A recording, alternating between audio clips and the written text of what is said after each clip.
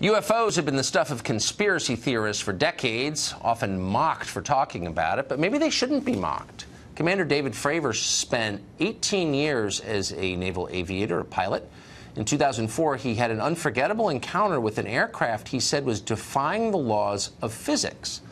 Former Commander Fravor joins us tonight. Thanks a lot for coming on tonight.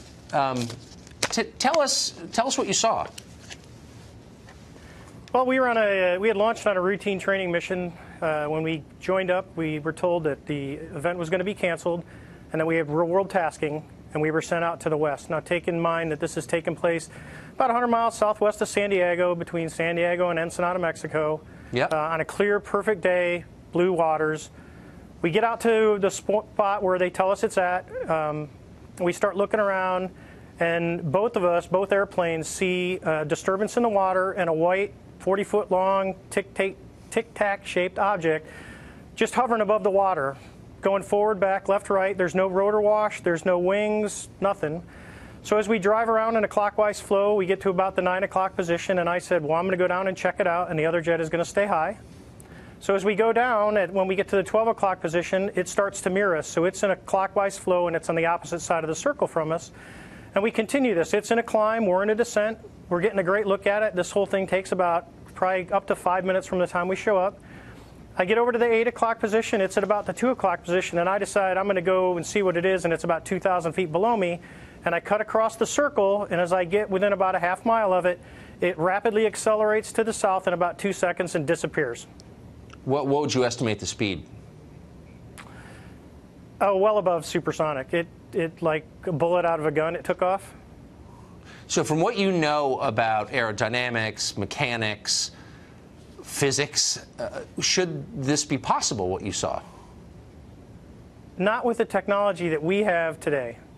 Not, not at all. Even now, even 13 years later, is there anything that you know of capable of this kind of behavior? No, there's nothing I know of. I mean, this when you look when we saw the, the video with the IR, it has no exhaust. Uh, it you know no no discernible things of anything form of propulsion. And this thing came from a dead hover over the water, just kind of moving around, to a climb up to about 12,000 feet to rapidly accelerating away in a climb.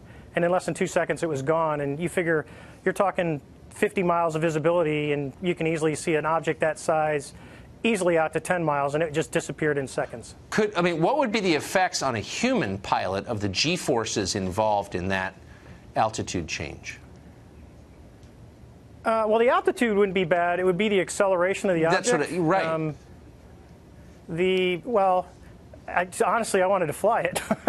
yeah, but, I bet. Uh, uh, you know, there's you know, talking to some physicists they don't think the human body could handle that kind of force with that yeah, it doesn't. It doesn't sound. It doesn't sound like the human body could. So, bottom line, what do you think this was? I believe, as do the other folks that were on the flight, that we when we visually saw it, that it was something not from this world. Uh, when uh, presumably you expressed that belief to your superiors, what did they say? Actually, we, we caught a lot of grief getting back to the boat, uh, and it got passed off as an event that no one could explain.